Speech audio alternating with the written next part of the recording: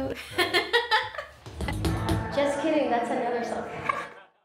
My name is Gabby Bravo and I'm a musician. I play Mexican indie pop. I play music, uh, sing, I paint.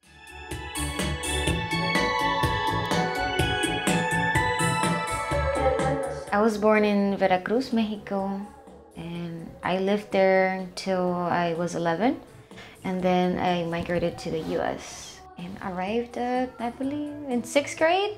No, seventh grade.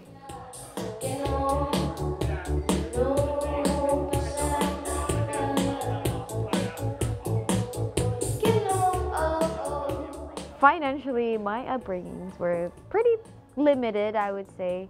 Um, grew up kind of poor, not kind of, very poor.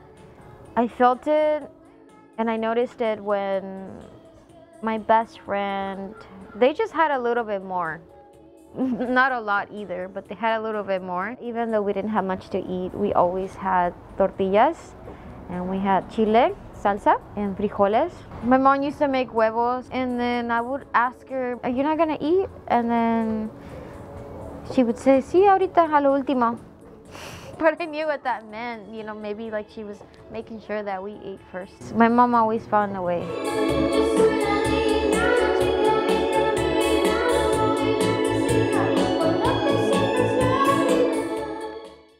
I talk about pain often, but I don't think it's something that is always in my life.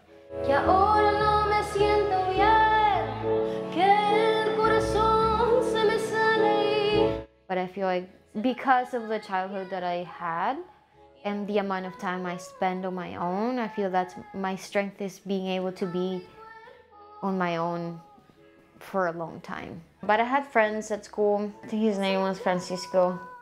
And then we became good friends. Then eventually he got himself some buddies, and then I was left to find my own friends. um, but yeah, it was tough. A little bit of bullying. Always faced this one thing of like girls wanting to fight me and me not knowing why.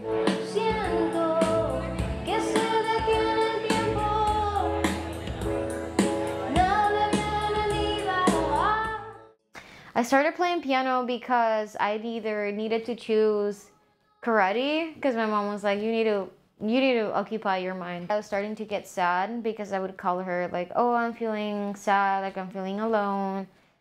And, and she felt bad because she's like, I can't come home. Like I have to keep working in order to keep a roof over our heads. And then she just, she was really busy and she saw that I was needing to adjust to the change of like moving from Mexico to here. She's like, you need to pick something. And I was like, there's no way I'm doing karate, mom. So I told her to get me a keyboard. Have an idea, and if I can hear it, then I'll try to recreate that and just loop, record and loop everything using my Juno. I'll either start like some chords and then I'll add some bass to it. Then I'll add the, the drum loop to it.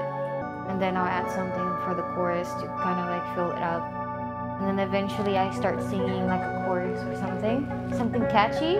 And then eventually that turns into like more.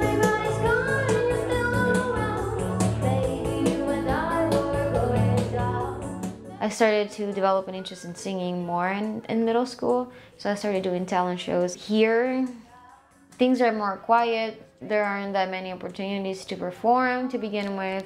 When I was younger in high school, there used to be a lot of punk shows literally just down the street. So I feel like that really inspired me to pursue music or to just even start.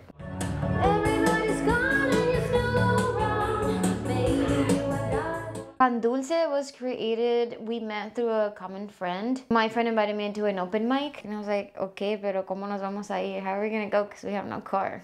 we were younger too. She's like, oh, my friend can take us. My friend is Alejandro, the trombone player. Then I met his brother, the bass player, and then I met Chris.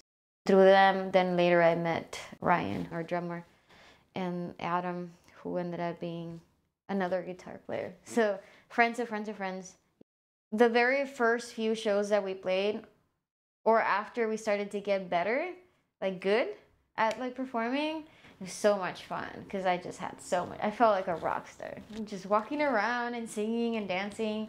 When I was in the band, you could talk, you could sing, you can kind of like joke around. And now, well, I don't have anyone to do that with because um, it's just my keyboard, my Juno. It's my husband. If you wanna go downtown with me, all you gotta When I became solo, buy the train.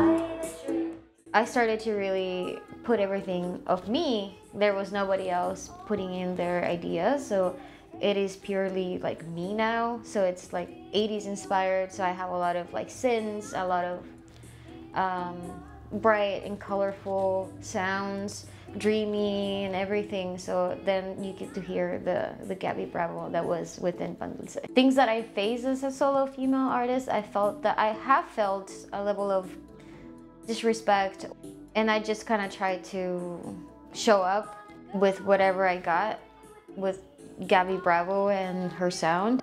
It could be intimidating, but it could also be very empowering, and I usually go with the empowering. I'm down to get wired up. And if you wanna go hiking with me, I'm really out of shape, but I'll get This is my art. One of the rules that I have is that if I can remember a dream so vividly, or I have like a strong emotion about it, then I end up painting it. Last night I had a dream when I was feeling all alone. I just feel very connected to my dreams.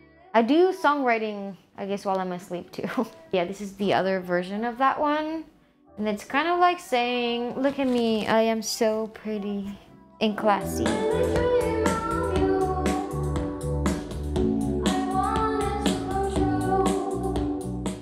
Overall goal is to, to keep doing this for as long as I can. And my personal goal is to obviously survive as, as an artist. My name is Gabby Bravo and I'm a musician, a Mexican singer-songwriter. Check out my music.